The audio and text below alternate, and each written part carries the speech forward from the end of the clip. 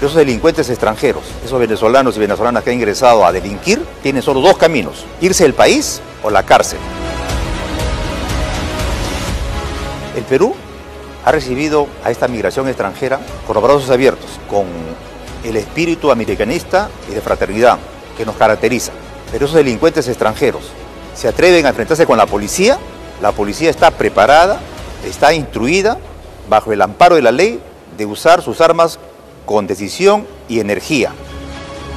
Este grupo de élite va a depender directamente del director de investigación criminal, en coordinación con las demás divisiones está al mando de un coronel de amplia experiencia, el coronel Víctor Roberto, que va a articular con eh, estas unidades especializadas y va a estar conformado por los mejores elementos de la división de secuestro, la división de homicidios, la división de robos y también con un alto componente de inteligencia del Ministerio Interior y la Dirección de Inteligencia de la Policía Nacional. También va a coordinar estrechamente con migraciones y con la Policía de Extranjería. Va a estar enfocado principalmente en combatir tráfico de drogas, el sicariato, el secuestro extorsivo, el curvo de cupos y eh, los delitos violentos que cometen ciudadanos extranjeros. Están advertidos.